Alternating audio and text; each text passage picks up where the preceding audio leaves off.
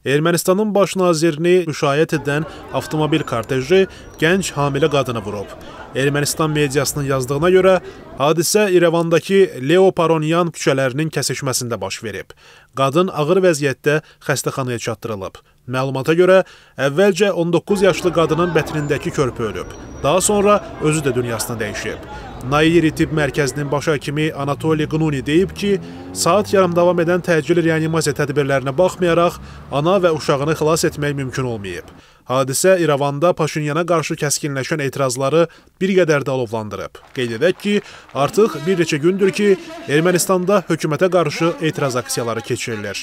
Müharibə zamanı həlak olan hərbçilərin yaxınları Ermənistan Baş Prokurorluğunun binasına doğru yürüş ediblər. Onlar baş nazir Nikol Paşinyanın həbsini tələb edərək Nikol xaindir, Nikol qatildir şüarları səsləndiriblər.